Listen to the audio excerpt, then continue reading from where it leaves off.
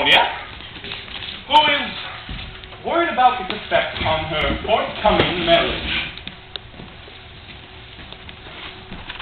To the housekeeper. To the housekeeper of many years, who is worried about even darker matters. And to the local padre. To the local padre who has known Alonso all of his life.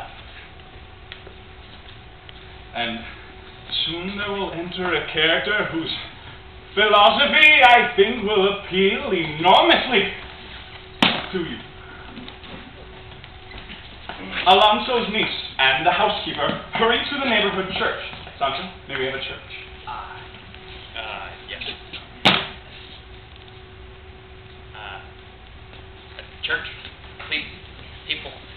Mm-hmm. Church. Anguished by this terrible situation and not unaware of what the neighbors may think, they seek help and advice from the padre.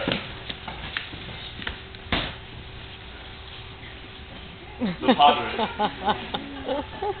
But, in spite of the trouble which Alonso's madness may bring down upon her head, you can be sure she's only thinking of him.